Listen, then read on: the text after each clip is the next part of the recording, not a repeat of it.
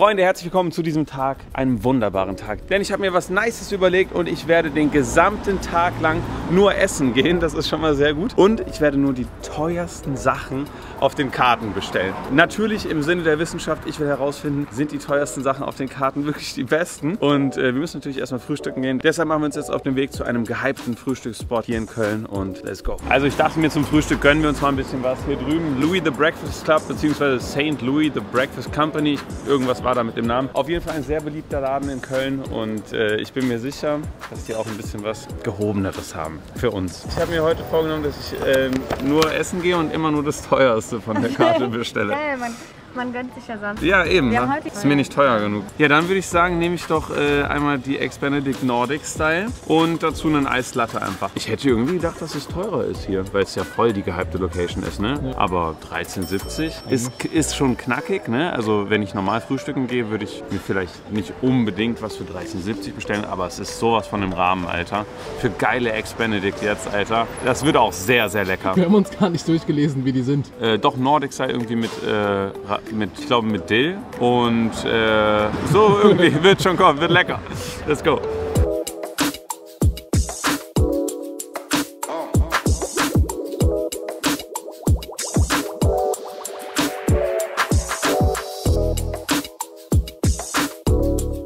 So, das Essen ist da. Wir haben hier wirklich Unmengen an Lachs. Das ist wirklich sehr großzügig, muss man sagen. Für diese Menge an Lachs ist der Preis auch wirklich gerechtfertigt, kann ich direkt sagen. Also hier ist nichts Abzocke, kein nichts.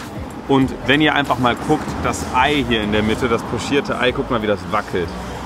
Das ist einfach Wackelpudding. No joke, ich habe noch nichts gegessen heute und ich freue mich so sehr darauf. Jetzt kommt erstmal der klassische Eieranschnitt. Bereit?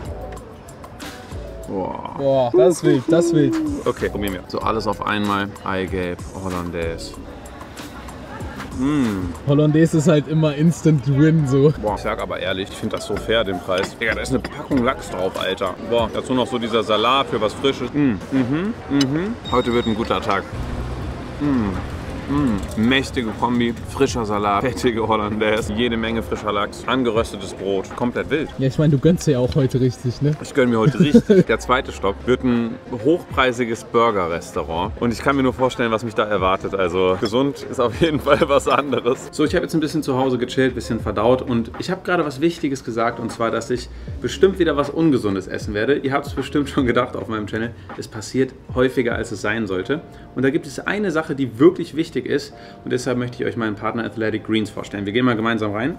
Nämlich sich vernünftig und ordentlich Vitamine zuzuführen. Nicht nur Vitamine, sondern auch jede Menge andere Sachen, die hier drin sind. Und warum ich das benutze und warum ich davon überzeugt bin, erzähle ich euch jetzt. Erstmal, warum ich davon überzeugt bin. Und das ist wirklich keine Floskel, sondern ich habe mich davon überzeugt. Ich meinte, bevor wir hier irgendwas machen, schickt mir erstmal was zu. Ich probiere das Ganze. Und ich muss euch sagen, ich habe das getrunken und ich war so, hm.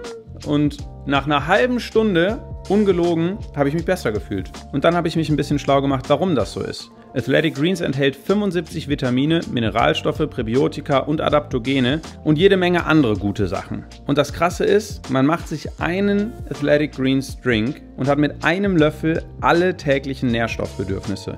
Und das Beste ist, das ist nicht für irgendeine Sportlerernährung zugeschnitten oder sonst was. Nein, auch wenn man den ganzen Tag rumfährt und Restaurants testet, kann man das super gut integrieren. Ihr könnt euch natürlich jetzt denken, der kann uns viel erzählen, aber es gibt eine 60-Tage-Geld-Zurück-Garantie. Und nicht nur das, wenn ihr über meinen Code athleticgreens.com slash max, ziemlich cooler Link übrigens, bestellt, kriegt ihr dazu eine Jahresdosis Vitamin D3 und fünf Travel Packs. Weil logischerweise kann man die Schale, die man im Starter Pack bekommt, nicht überall mit hinnehmen. Deshalb Leute, tut euch was Gutes, ich tue mir was Gutes, checkt das Ganze ab, alle Infos nochmal in der Infobox und weiter geht's mit dem Video. So, wir sind jetzt auf der Aachener Straße und äh, da vorne ist auch schon unser Laden. Ich bin ernst gespannt, wie teuer es da wird. Bro, das, ist das der richtige Laden? Ja. Ja, gucken wir mal. Boah, The Bird Bison Burger, Doppelburger 28 Euro. Aber der Laden hat zu. Digga, das wäre fürs Video so geil gewesen. Steht nicht mal da, wann die da aufmachen. Ich glaube, bei Google stand sogar, dass die offen haben. Wir überlegen uns was anderes. Und am besten überlegen wir uns schnell was anderes, weil ich habe ernst Hunger. The Bird jetzt Café de Paris. Ich war selbst noch nie dort. Weiß, dass es, glaube ich, auch pricey werden kann. Deshalb weiß ich nicht, ob es die beste Entscheidung ist, hier hinzugehen. Aber wir machen das jetzt, Leute. Also ich weiß auf jeden Fall aus meiner Insta-Story, dass da nur die Schönen und Reichen hingehen. Ja, da sind wir richtig. Nee, sind wir ja nicht. Nein, Spaß. Äh, ich überfliege mal. Ach, für Austern. Cluster 24,50. Min Jung. Hast du's? Wir haben das, wie heißt das? Charolais Edelrinderfilet. 250 Gramm vom Lavasteingrill für äh, 42,50. Das ist ein angemessenes Mittagessen, würde ich sagen. Das gönnen wir uns jetzt. Nehmen wir mit, oder? Grüner Spargel, Pfifferlinge. Boah, Kalbschnitzel mit Kartoffel-Trüffelsalat. Ich schwör's dir, das wäre so geil jetzt gerade. Aber ich, ich, ich muss halt das Filet nehmen. Gucken wir mal.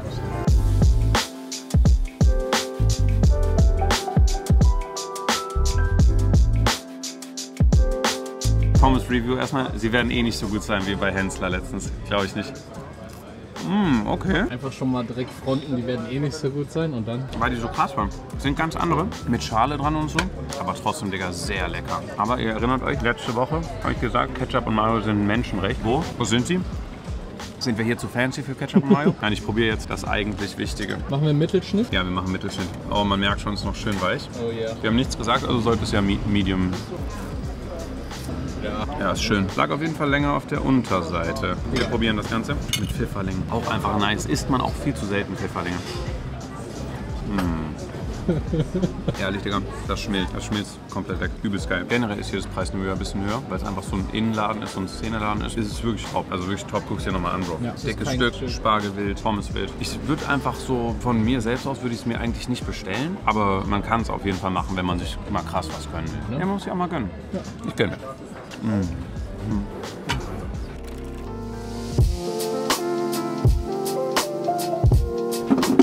go. Ich fand, dass hier das teuerste ist. Bitte nicht, bitte gibt's was teureres, bin ich schon wieder Filet mit Pfifferling. Sonst nehme ich das zweiteuerste, okay? Bin super gerne hier. Das ist mit einer meiner Lieblingsläden, zu denen ich aber sehr selten schaffe. Zu dem Anlass gucken wir doch nochmal vorbei. Ich finde es hier mega chillig, ist einfach wie in Italien so, vom Vibe. Und wenn es jetzt noch was Teures gibt, bin ich happy. Warum kann Trüffelpasta nicht das teuerste sein, Digga? Beides 23,50. 23,50 erstmal deutlich angenehmer für meinen Geldbeutel als heute Mittag. Polipo alla griglia, Polpo wahrscheinlich, ne, oder kleiner Polpo. Tonno ai ferri. Thunfisch mit Pfifferling. Oh, Pfifferlinge hatte ich heute halt schon mal. Polipo ist nicht meine erste Wahl. Ich würde wirklich, wirklich gerne gerade einfach die Trüffelnudeln bestellen, aber ich darf halt nicht. Damit hätten wir auch schon mal die Frage beantwortet, ist das teuerste immer das Beste? Nein. Thunfisch habe ich, Thunfisch äh, habe ich noch genug von, von Hensler. Das heißt, es wird jetzt der Polipo. Aber ist auch geil. Ich meine, durch so Sachen, wenn man sich so weirde Challenges stellt, dann probiert man auch nochmal neue Sachen aus. Ich sage jetzt, ich würde das nicht bestellen, aber ich habe zum letzten Mal Polpo vor zwei Jahren gegessen, Digga. Deshalb, das wird's.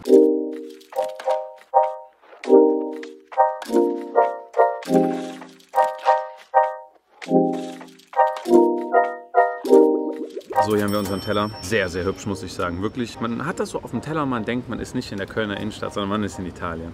Und dann ist eigentlich alles richtig bei einem guten Italiener. Frische Zitrone drauf, wichtig. Und dann bin ich gespannt, ob es mir vielleicht doch schmeckt. Boah, geil, so richtig ordentlich drüber. So, jetzt sehen wir mal. Hat schon ein bisschen was Komisches so, ne, von der Form, aber... Mm. Mhm. Seit wann ist Polpo so cremig, Digga? Das Das, ist hat gar nicht so immer. dieses Harte, weißt du? Ja, hart ist eigentlich dann blöd. Ja? Ja. Kann es sein, dass du immer nur schlechten gegessen hast? Wenn ich jetzt Ja sage und meine Mama das Video sieht, dann habe ich ein Problem. Nein, aber wirklich richtig gut. Boah, ich bin wirklich positiv überrascht. Ich war ein bisschen traurig, dass ich keine Pasta fetzen konnte, weil sie leider nicht das teuerste war. Aber mhm, geil. Richtig frisches, leichtes Essen. Drin so frittierter Rosmarin, Thymianäste. Übelst geil. Also no joke. Kulinarisch, so von der Komplexität, auf jeden Fall der Höhepunkt von heute. Aber ich muss noch ein bisschen wirken lassen und dann wird auch dieser traumhafte Tag zu Ende gehen. Boah, knusprig. Hat sich gelohnt. Hat sich wirklich gelohnt. Mein Fazit, nehmt immer das teuerste. Nein, Spaß. Nehmt, worauf ihr Lust habt. Aber wenn ihr mal was Neues ausprobieren wollt, auch wenn es das teuerste ist, ist häufig eine gute Idee. Also mit einem Espresso lassen wir das Ganze jetzt nochmal ausklingen. Ich muss sagen, das war schon sehr, sehr gut heute Abend. Also preislich vollkommen in Ordnung und richtig lecker. Also ich glaube, es war mit meinem Lieblingsessen heute auf jeden Fall. Insgesamt war es aber ein sehr leckerer Tag. Und ich sage euch ehrlich, ich bin gespannt, wie das ist, wenn wir das Ganze mit dem günstigsten Essen von der Karte machen, weil ich glaube, solange die Restaurants gut sind, passt das auch. Danke sehr. Deshalb würde ich sagen, Leute, wir sehen uns beim nächsten Video wieder. Macht's gut. Bestellt nicht immer das teuerste, aber manchmal kann man es sich gönnen. Ciao, ciao.